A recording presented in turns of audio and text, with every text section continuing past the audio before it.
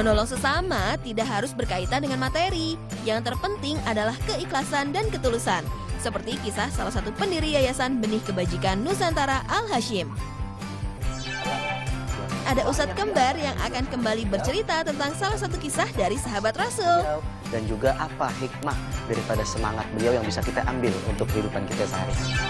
Bagi sahabat Salihah penggemar wisata kuliner, Salihah punya satu rekomendasi kuliner halal yang ada di Jakarta. Sebagai muslimah, kita juga harus tahu ya bagaimana cara berpakaian yang baik dan benar menurut Islam. Semua akan terangkum di Salihah hari ini.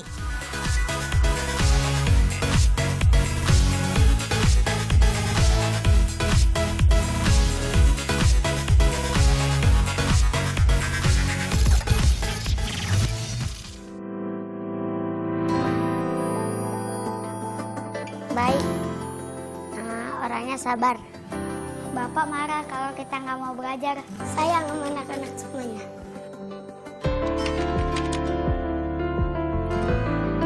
Awalnya sih ragu, ragu ya. Ibaratnya dulu kan kita ekonomi masih eh, sederhana gitu ya, masih belum memadai lah kasarnya begini. Untuk eh, membiayai keluarga sendiri aja masih belum mencukupi gitu. Ya cukup mungkin cukup, cuma eh, belum lebih lah gitu ya, belum pantas untuk bisa mengasuh orang lain. Tapi alhamdulillah sih bapak bisa meyakinkan ibu untuk eh, ini loh memang sudah jalan kita gitu. Jadi ya saya terima aja.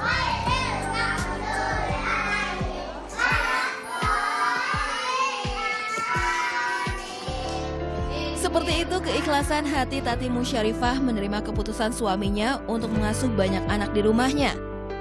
Berawal dari mengasuh dua anak dari korban peristiwa kerusuhan 98, kemudian satu persatu anak datang dititipkan ke rumah seorang pria tulus yang sehari-hari bekerja sebagai supir, Joko Mulyanto.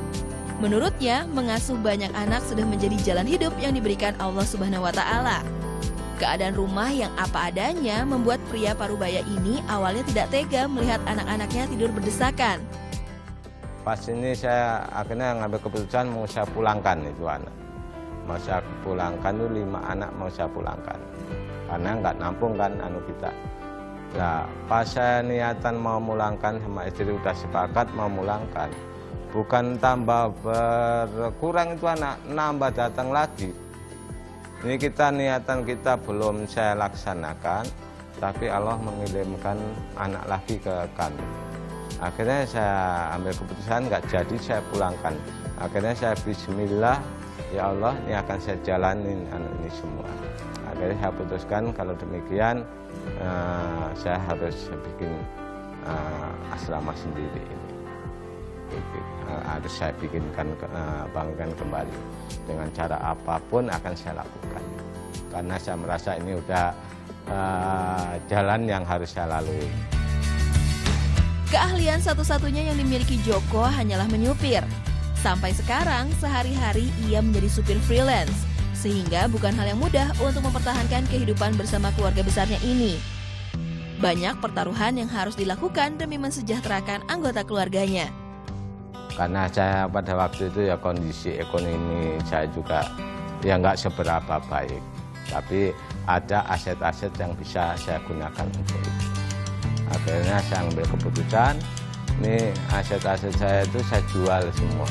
Terutama armada yang biasa saya buat untuk nyari nafkah, untuk urusan dapur saya jual semua. Ada empat unit ya pada waktu itu. Saya jual untuk membangun asrama itu yang pertama itu. Terus saya bangunkan lagi di situ, Alhamdulillah eh, selesai. Ya kalau dihitung dengan anu secara manusiawi kayak nggak cukup, nggak masuk akal. Ya karena ini udah jalan dari Allah. Ini Alhamdulillah ini semuanya itu tertangani semua dari biaya kesehatan, biaya sekolah, biaya permakanan itu Allah telah memberikan sesuatu yang luar biasa pada kami. Walaupun itu ya, kalau dari hasil saya sendiri minim, tapi Allah telah mengirimkan umat-umatnya untuk membantu perjuangan kami. Allah Subhanahu wa taala berfirman dalam Quran surat Az-Zumar ayat 10.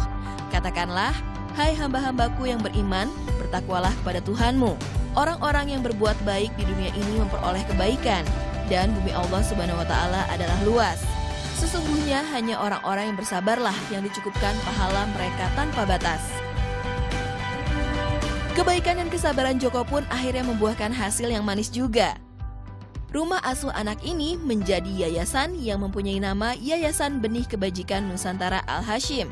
Dan beberapa orang datang untuk ikut membangun tempat tinggal Joko dan anak-anaknya. Inilah hasil dari apa pun yang dilakukan Joko untuk tetap membangun yayasannya. Dukungan paling dekat hadir melalui sosok istrinya. Ketika Joko bertugas untuk mencari biaya kehidupan sehari-hari, maka sang istrilah yang bertugas mengasuh dan mendidik semua anak-anak mereka. Sekarang total anak yang diasuh oleh suami istri ini ada sekitar 40 orang. Pak Joko ya, suami saya 90% itu sifatnya ada yang seperti bapak saya. Terutama sabarnya, sabarnya tanggung jawabnya, dan kasih sayangnya itu yang saya pikir memang uh, saya, saya anggapnya spesial buat saya gitu ya. Jadi sampai sekarang ya alhamdulillah kita masih tetap bersama-sama.